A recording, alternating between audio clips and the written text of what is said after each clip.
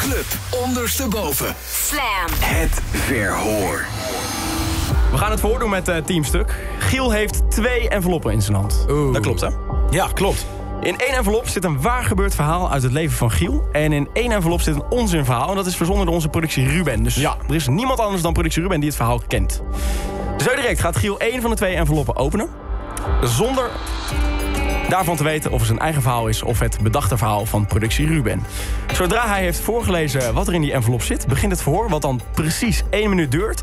En dan mag iedereen hier in de studio vragen gaan stellen aan Giel. Dus Thomas mag dat doen, Stefan, Bram en ik. Yes. En aan het einde van die minuut dan mag jij thuis, in de auto of in je werk... gaan bepalen of het verhaal waar of niet waar is. Trouwens, voor het extra dramatische effect... Stefan, zou je ook onder zo'n lamp kunnen staan? Ja. Ondanks dat je het bloedheet hebt. Ja, ik Nee, heb ik wel ga net het een doen. boer gelaten, dus die ruik je misschien bij mij staan. Ah, top. Ik ben bij de spot. Oké, dus twee enveloppen. Eén is een waar gebeurd verhaal, één is bullshit. Yes, weten en niet Giel welke. moet dit dus Oh. zo overtuigend mogelijk gaan vertellen. Wij moeten zorgen voor goede vragen en eh, ja, gewoon opletten wat Giel gaat zeggen. Ja, nu nog de envelop kiezen. Zijn we er allemaal klaar voor? Snappen we het allemaal? Zeker. Ja. Let's go. Giel, dan mag je één envelop open gaan maken. En op het moment dat jij de zin hebt voorgelezen, begint het verhoor.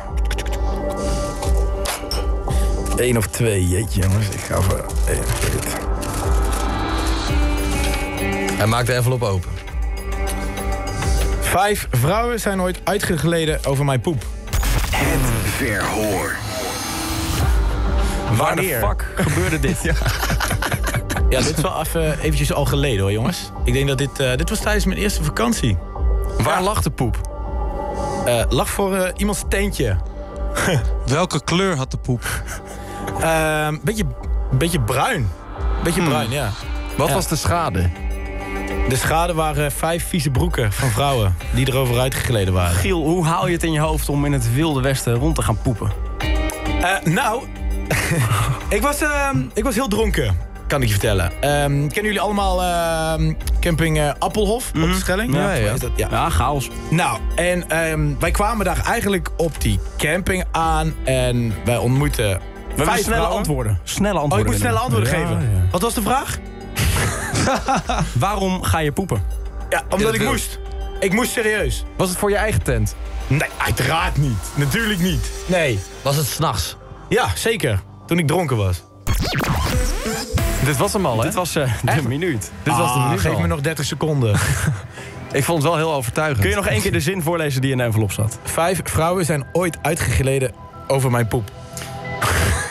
Als je denkt te weten of dit verhaal waar of niet waar is... dan mag je nu Ik Weet Het sturen via een sms'je 6363. De Slam app of Instagram Club ondersteboven. En dan gaan we er zo direct achter komen. Dus we hebben aan de lijn eh, Damien, hallo. Hoi, hallo. Heb je het verhaal goed kunnen analyseren, het verhoor? Ja, Nou, vertel maar. Wat denk je? maar ik denk, ik denk dat het niet waar is. Want ik denk niet dat vijf vrouwen over één open strand kunnen uitglijden. Oké. En viel die ergens door de mand dat je dacht van... nou, hier ligt hij. Ja, omdat ze alle vijf een eh, vieze broek hadden. Kijk. Ah, detective. Wat, Ja. eh, wat denken wij hier in de studio, eh, Stefan? Ehm, nou, ik denk dat het zomaar nog wel eens waar kan zijn.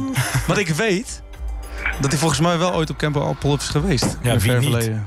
Ja. Ja, dat is wel zo. Wie niet? Nou, ik niet. ja ik, Ah, denk, ja, eh, Oké, dat, ja, maar jij slaapt altijd. Ja. ah, ik denk dat het geen vijf waren, maar zes. Ja, dat er in die andere envelop zes vrouwen Ja, ja, tuurlijk. ja, Bram, jij? Nee, ik denk ook wel dat het waar is. Ja, ik geloof hem ook wel erg. Ja, oh, shit, het klinkt wel als een verhaal van Giel. Oh, dat vind ik echt dat ik het goed heb verteld. We gaan erachter komen. Giel, je mag het gaan vertellen. Yes.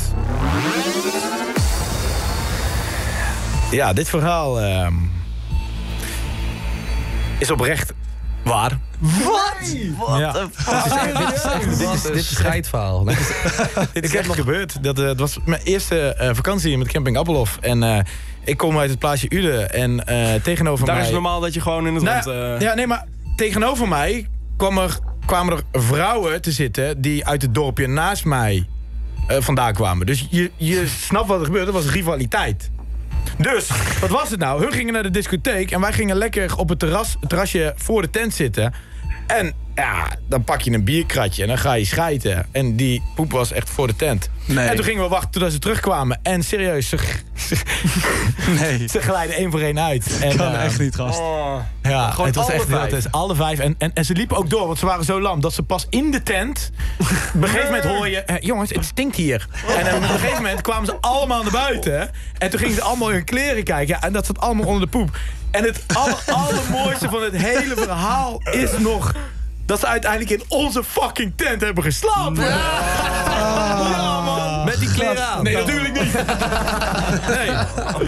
Ja, dat is het was verhaal. Ja, oké, maar ja, weet je, je bent 16 of zo, 17 en... eh, Ja, dan doe je dat soort dingen. Ja, je ja, dan doe je wat. dat schijnbaar dat hele scheid... Ja, dan doe je die scheiddingen. Wie doet het niet, hè? Wie doet het niet? Iedereen is op dat ja, geweest. Damien, je had het helaas fout, maar eh, vond je het verhaal het wel waard om hier even aan de lijn te komen? Jawel, toch? Ja, tuurlijk. Ja, best weer nog een fijne avond. Thanks. Ja, dank wel. Jullie ook. Yo. En eh, Giel, niet hier doen, hè? Hier zou ik geen vragen Nou, hij ligt er al hoor, jongens. Come on!